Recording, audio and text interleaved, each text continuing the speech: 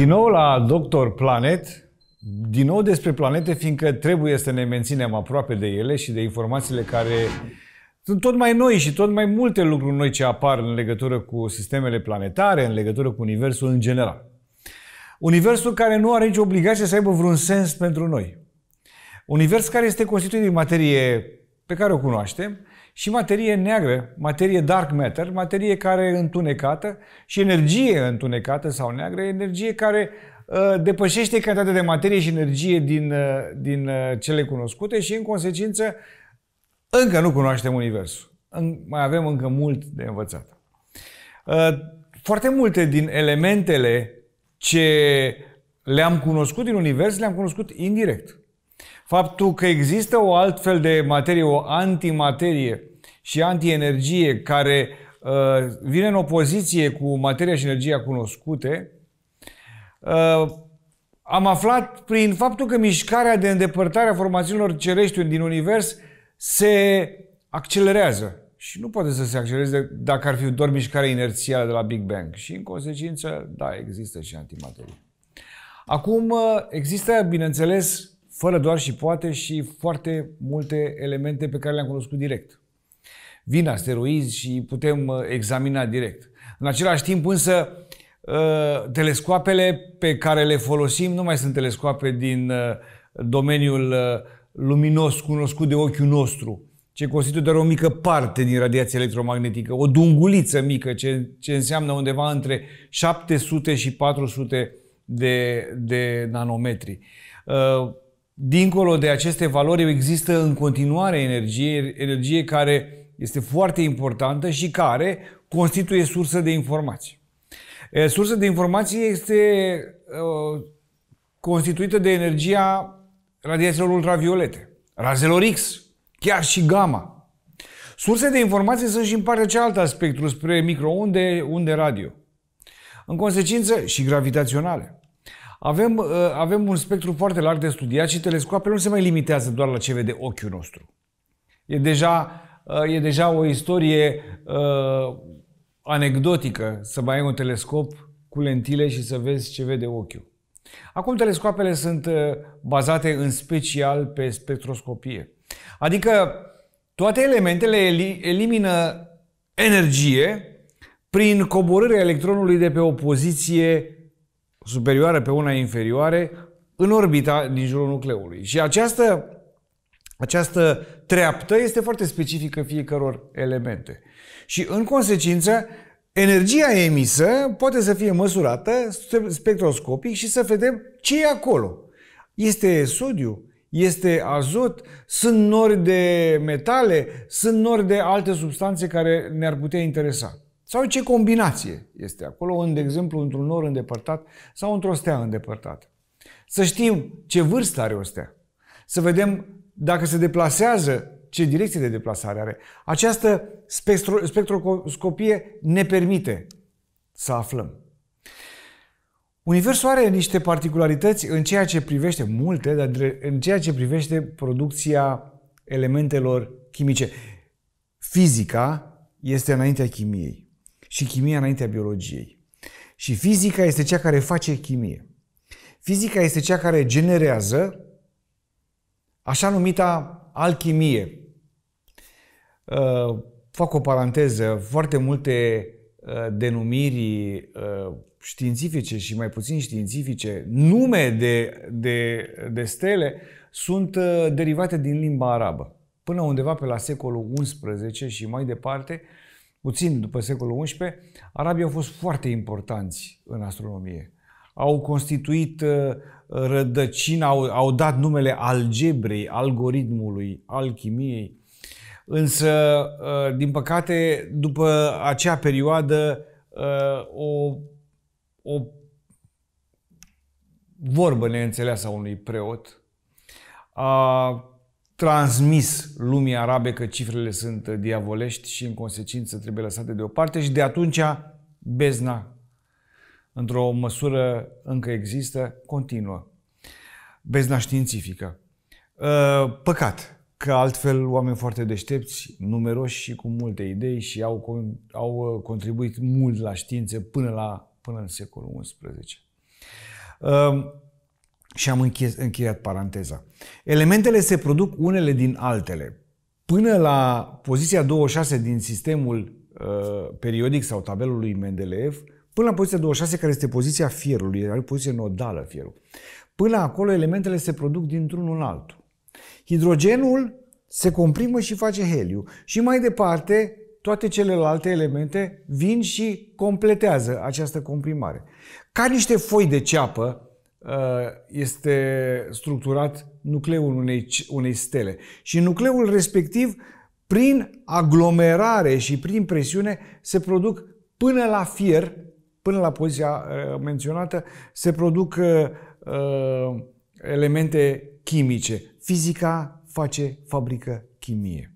Fizica stelară, presiunea uriașă, presiune care generează energie, presiune care generează fuziune, presiune care generează elemente chimice, cum spuneam, până la fier, fiindcă fiecare generare determină și o producție procentuală undeva la 5% de energie.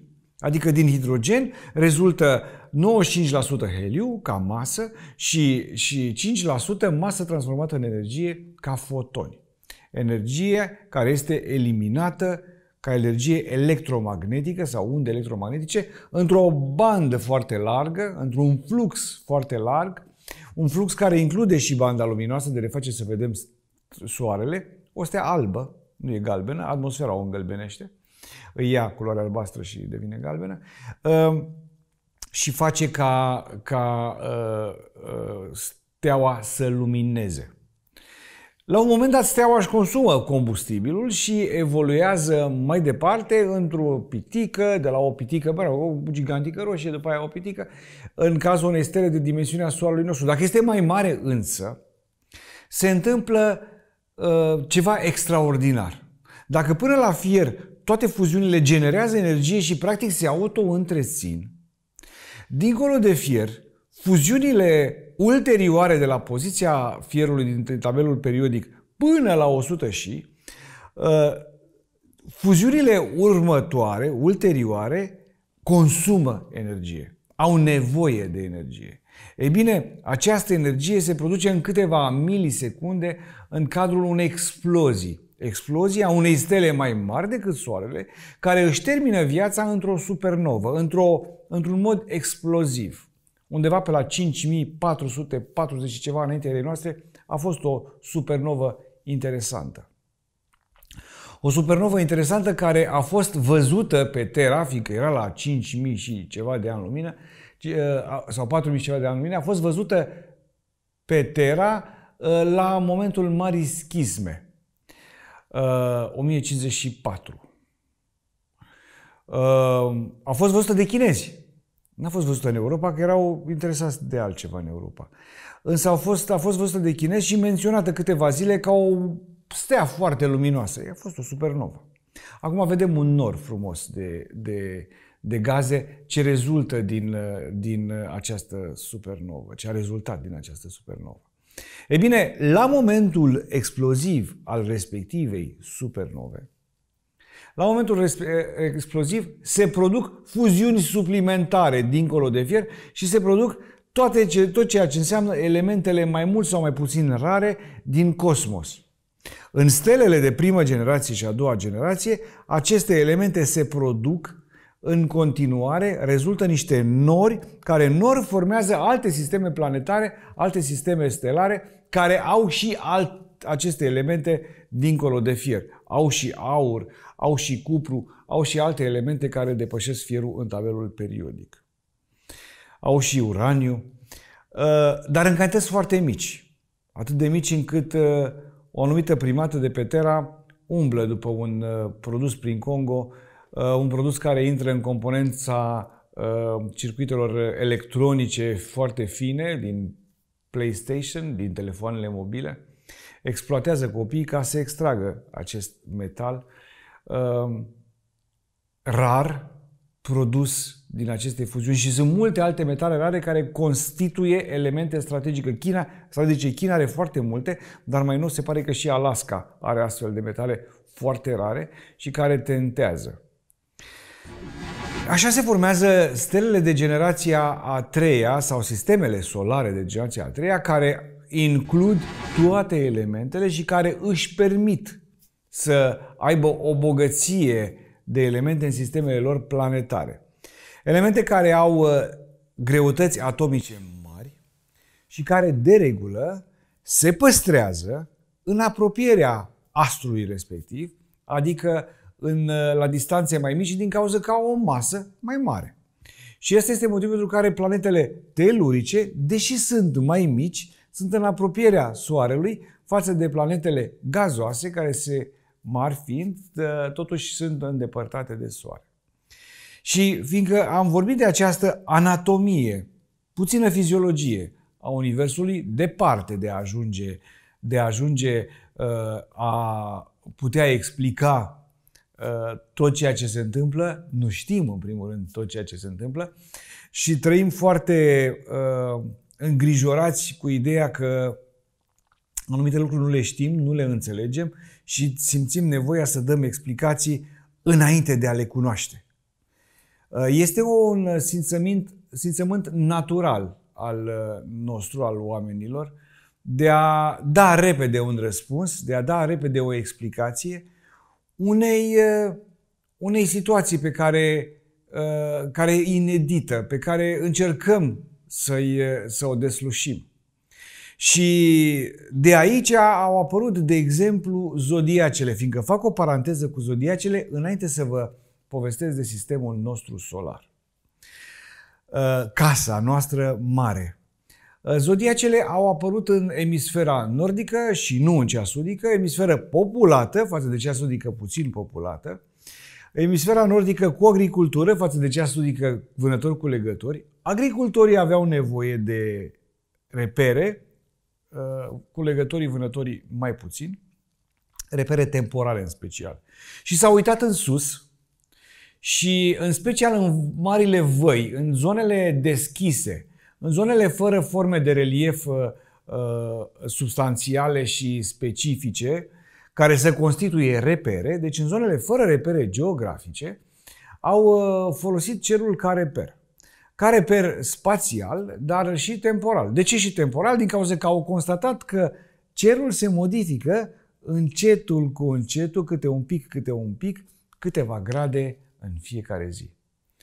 Și într-un an de zile să închidă un ciclu. Ei bine, uh, au văzut acest lucru și pe fluviul Yangtze, pe valea fluviului Yangtze, și pe valea Hindu, și pe Tigru Eufrat, dar și pe Nil. De aici au răsărit cele patru mari calendare zodiacale, chinezesc, indian, babilonian și egiptean. Calendare zodiacale care uh, se contrazic, bineînțeles, între ele, fiindcă oamenii nu au avut uh, aceleași repere și nu au folosit aceeași imaginație. Au imaginat fiecare altceva. Cert e că au unit prin linii imaginare, creând niște desene pe cer, că este simplu să-ți imaginezi să faci un desen, uh, și au creat constelațiile, au stabilit existența unor constelații. Aceste constelații le-au împărțit în sistemul uh, duodecimal sau sistemul de împărțit la 12, foarte folosit mii de ani în urmă și foarte folosit până recent în Anglia, unde diviziunile erau la 12 și nu la 10. Centezimal apărând la romani. Dar în englezii au mers multă vreme cu sistemul uh, împărțirii la 12. Și în consecință au împărțit un sector sectorul ceresc la 12, au imaginat 12 zodii și au văzut că aceste zodii, în raport cu răsăritul și apusul soarelui, se mișcă. Cât de simplu. Și au devenit acest, acest, uh, cale, acest, uh, uh, această hartă a devenit și calendar. Prin faptul că alta, harta ți se învârtea. Și au, au făcut și un ceas. Un ceas anual, un calendar anual. Reperele au fost necesare, fiindcă cu ajutorul acestora, mai ales că pe văile marilor fluvii nu prea plouă. Și ne fiind nori, ă, cerul este în fiecare noapte disponibil. De asemenea, cerul este deseori disponibil și pentru navigația ă, pe ape. Tot din cauza faptului că sunt puțini nori adunați pe ape.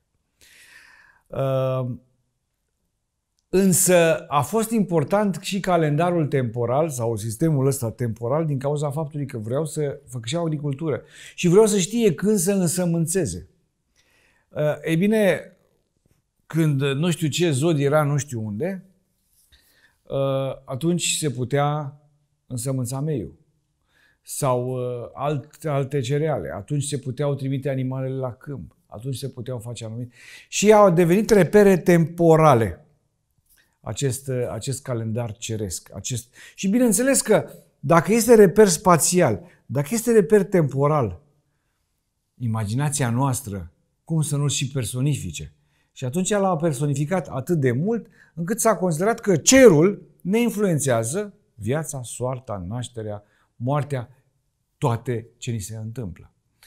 Atât de mult se întâmplă încât suntem convinși că o anumită formațiune cerească situată la mii de ani lumină ne influențează la momentul nașterii uh, prin forța de atracție care există.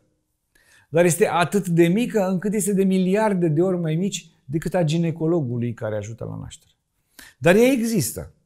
Însă depinde invers proporțional de pătratul distanței și proporțional de masă.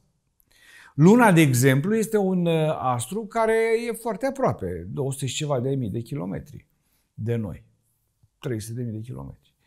Luna este, cum spuneam, destul de mare. Este cam un sfert, un pic peste un sfert din, uh, din diametrul globului pământesc, din Terra. Și în consecință, Luna are o putere de influențează mareele, ridicând până la un metru jumate sau mai mult apele, acolo unde uh, mai intră și în conjuncție cu Soarele. Și acolo unde Luna, prin forța ei de atracție, firește că modifice, modifică într-o măsură mai mare apele decât solul mult mai, mult mai uh, rigid. Dar să știți că și solul se ridică 30 de centimetri. Adică nu ne, nu ne îngrijorăm că, că am scăpat. Nu, și solul ondulează cu 30 de centimetri ca efect al, al forțelor, tidal force, cum spun în engleză, uh, forțelor de gravi, atrac, atracție ale lunii. Luna însă ne influențează pe noi într-o măsură mult mai mică, fiindcă nu avem capul cât oceanul planetar. Este o bună comparație pe care o facem cu Marea Neagră. Marea Neagră este clar mai mare decât capul nostru. Și totuși este foarte puțin influențată de Luna. Deci trebuie să înțelegem că luna este, uh, nu are o influență notabilă asupra noastră, decât psihologic, fiindcă s-a demonstrat că mai mulți copii se nasc pe lună plină. Uh, luna plină, cumva 28 de zile de ciclu lunar corespunde și celor 9 luni și uh, luna, luna plină, practic se concep mai mulți copii pe lună plină, fiindcă suntem mai impresionați, mai, mai romantici pe luna plină.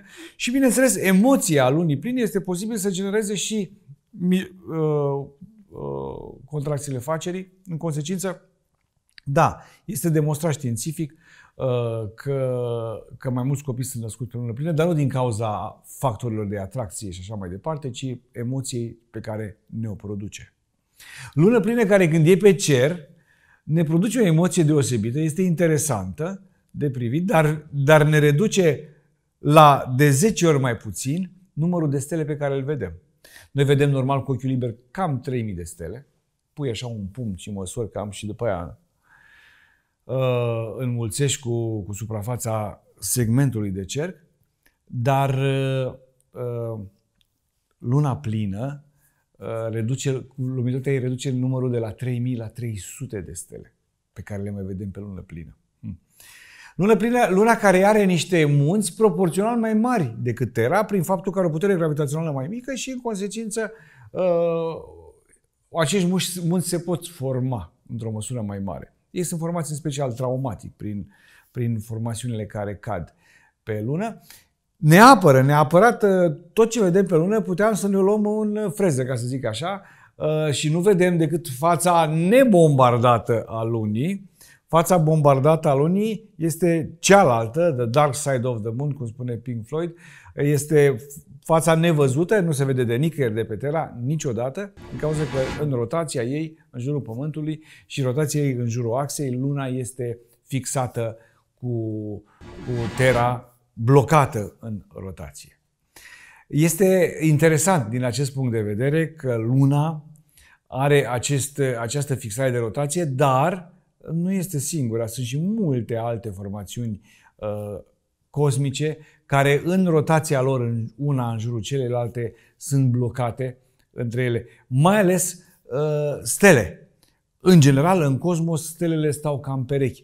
Uh, sunt destul de rare situațiile și de fericite situațiile în care stelele uh, stau singure, cum este cazul nostru al, uh, al Soarelui. În general stau perechi sau mai mult decât perechi, orbitează cumva în jurul lor și nu prea permit o constantă vitală unei planete care se întâlnește când cu un soare, când cu alt soare. Vă dați seama ce schimbări teribile s-ar produce acolo. E, este unul, unul din factorii pentru care șansele de, de apariția unei planete habitabile se diminuează prin existența unor sori ce se influențează, unor stele ce se influențează reciproc și se orbitează una în jurul celelalte. Dar să ă, ne referim, așa cum am promis la începutul emisiunii, la casa noastră, casă mare. Ă, casă mare care înseamnă patru planete telurice și patru giganți gazoși, că unul este al cincilea, este cu semn de întrebare. Uh, prima planetă telurică este o planetă ce are ziua aproape la fel de mare ca și anul. Respectiv are 50 și ceva de zile terestre o zi, o rotație foarte lentă, dar are uh, anul de 80 ceva de zile terestre, deci o zi jumate de a Mercurului înseamnă un an. Uh, o planetă care se învârte cu o viteză variabilă în jurul Soarelui, fiind foarte aproape, foarte constrâns gravitațional și cu o orbită foarte eliptică.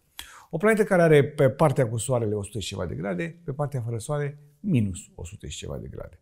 O planetă care nu are atmosferă, care este măturată de vântul solar, nu are, un, are foarte mult fier. Are atât de mult fier, uh, Mercurul, încât uh, aproape 70% din această planetă este nucleul solid, uh, blocat de fier și nichel, dar în special fier, ce se găsește în, în această planetă. Este o planetă care, bineînțeles că este cenușie, din cauza că neavând oxigenul, fierul nu este oxidat. Urmează o altă planetă care are oxigen, dar care are oxigenul blocat împreună cu bioxid de carbon și care se numește Venus. Planeta este la 100 de mii de kilometri de soare. Prima e la aproximativ 50-70 de mii, care orbită foarte elipsoidală.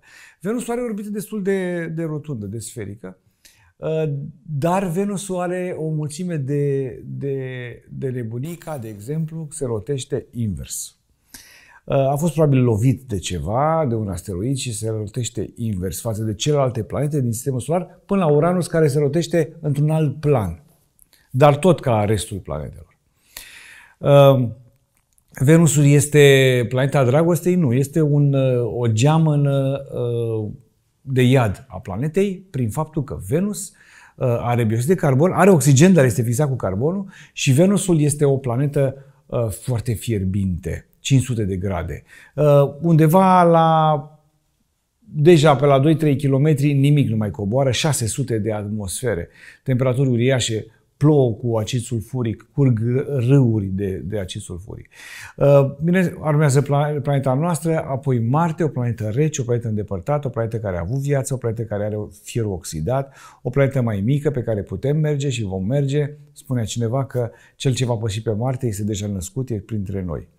O planetă care are însă uh, o problemă importantă, lipsește atmosfera și lipsind atmosfera nu ai posibilitatea de a genera oxigen, dacă ai avea ca, ca pe Venus niște bioxid de carbon, te-ai descurca. Are, uh, are uh, această problemă care este foarte importantă, fiindcă radiațiile ionizante solare vin și uh, distrug totul. Acolo trebuie să ai niște costume ca lumea ca să ajungi ca vietate pe Venus. Mai departe urmează o centură de asteroizi care este ținută în echilibru de o uriașă planetă Jupiter, mare de tot, o planetă un gigant gazos care nu știi când se termină gazul cu lichidul și după aceea cu solidul, este o, este o trecere uh, progresivă, este un, o planetă care este mai mare decât toate celelalte planete uh, ale sistemului solar. Este o planetă care uh, ar fi ajuns soare dacă era un pic mai mare. După, după Jupiter urmează o planetă ciudată, interesantă. Este vorba de Saturn. Uh, Jupiter are și patru, patru sateliți interesanți, din care vreo 1-2 ar putea fi habitabili. Uh, i-a văzut Galileo, Galilei, printr-o primă lunetă pe care și-a făcut-o.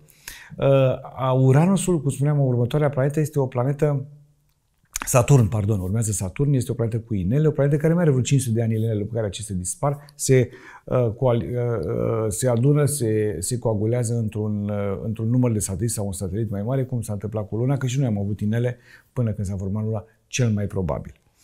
Uh, după, după Saturn, interesant, vine Uranus, care are hidrogen sulfurat, ar mirosi a ouă stricate, dacă n-ar fi minus 200 de grade și ne-ar cădea nasul în, în uh, jurul lui. Uh, pe Uranus ce este interesant este că plouă cu diamante. Uh, există metan, metanul care cade în zone de presiune, se desface hidrogenul de carbon în acel metal și carbonul, hidrogenul devine o masă lichidă, devine lichid, devine o mare, o mare foarte densă și carbonul formează niște diamante care plutesc pe această mare. Este, bineînțeles, n-a văzut nimeni, este doar o, o, uh, un calcul făcut de astronom, de astrofizicieni și se pare că este așa. Uh, dincolo de, de Uranus este o altă planetă uh, uh, care seamănă cu Uranus, un pic mai albastră, foarte mult metan și ea, este vorba de Neptun. Dincolo de Neptun, o planetă ce și-a pierdut acest, acest statut datorită faptului că nu e suficient de mare, nu are orbită suficient de, de, de clasică și este la 40 de ori distanța Soare-Pământ. Este o planetă care ca și celelalte planete numite de greci, planetii, adică rătăcitori, fiindcă pe cele le găsești colo și colo și colo de la o noapte la alta, ă, ăsta chiar rătăcește Pluto. Uh, toate aceste planete formează un ecosistem, dincolo există un nord-ort, nu, nu ne limităm doar la aceste patru planete ca fiind sistemul nostru solar, există mult mai departe, există foarte multe elemente ce se află în gravitație cu Soarele, dar într-o măsură mai mică, însă, uh, însă suprafață în adâncime în cosmos foarte mare, până la 1,5 ani lumină. Adică un an lumină are 40 de trilioane de kilometri. Vă dați seama, 1,5 înseamnă 60 de trilioane de kilometri. Uh, că noi avem 150 de milioane de kilometri, adică, adică 0,15 trilioane de kilometri. Uh, dincolo de, de, acești, de acest, uh, această structură a sistemului solar, este foarte, foarte important să înțelegem că înainte de a ne gândi să terraformăm alte planete, haideți să încercăm să nu stricăm planeta noastră, care este deja Terra, care este deja habitabilă și care este planeta ce ne-a dat viață și planeta căreia îi datorăm noi la rândul nostru să-i păstrăm, să-i dăm viață. A fost uh, un nou, un nou episod de Doctor Planet. Bineînțeles, ne-am ținut de, de promisiune și promisiunea asta a fost să fim aproape de planete, sistemul planetar, de univers, fiindcă pentru noi cel mai important și pentru dumneavoastră cel mai important este cunoașterea.